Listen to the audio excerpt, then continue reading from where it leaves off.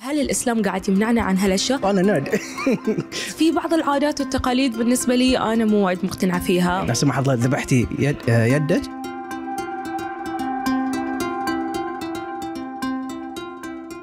مشاهدينا أكيد تذكرون أهم البرامج والفعاليات اللي صارت في مدينة الشباب ومن ضمنهم بودكاست هب. طبعا اليوم إحنا متواجدين عشان نسمع أهم الأعمال اللي تأهلت للفوز. طبعا هي بودكاستات لشباب بحرينيين لكل واحد منهم عنده رؤية مختلفة. أول شيء هو كنا قاعدة سوالف بنات نقعد مع بعض نتكلم بكل أريحية نطرح المواضيع اللي تهمنا اللي نبي نتكلم فيها. واحدة من الحلقات اللي أنا مجهزتها اسمها العادات والتقاليد. إحنا اليوم وصلتنا العادات والتقاليد من آبائنا وأجدادنا وأجداد أجدادنا بس مو بالضرورة كل العادات والتقاليد اللي وصلتنا هي صحيحة. على سبيل المثال ابنها يوم ما يصير تروح ما يصير تجيب روحها ما يصير تسافر بروحها ليش؟ من اللي حط هالقوانين؟ وليش حطيتونها؟ هل هل الإسلام قاعد يمنعنا عن هالأشياء؟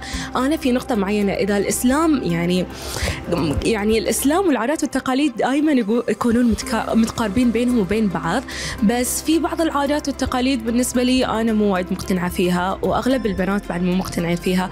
هل أنت خضتي بعض التجارب في عالم البحار شخصياً؟ إي نعم. جزء من اختياري حق هاي البودكاست أصلا إنه أنا كنت وايد وايد أحب أغوص خصوصا إني أنا كنت دارسة في مصر. فكنت ما بين فترة وفترة أروح شرم الشيخ أو الغردقة أو أي مكان في بحر في مصر وأغوص لازم يعني. ففي مصر عموما جربت أغوص كل مكان.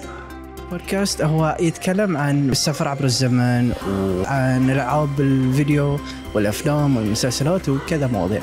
شنو ممكن يصير؟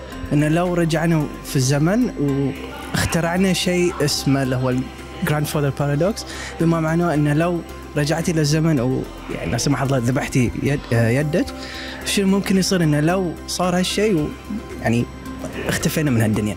إحنا قررنا إنه نتبنى برنامج من البرامج اللي بتفوز آه، في هذه المسابقة. فمن بين عشرة برنامج إحنا صورنا لهم ثمان حلقات لثمان مشاركين. من بين البرامج المشاركة فازوا ثلاثة برامج. إحنا بدل ما نتبنى برنامج واحد تبنينا الثلاثة.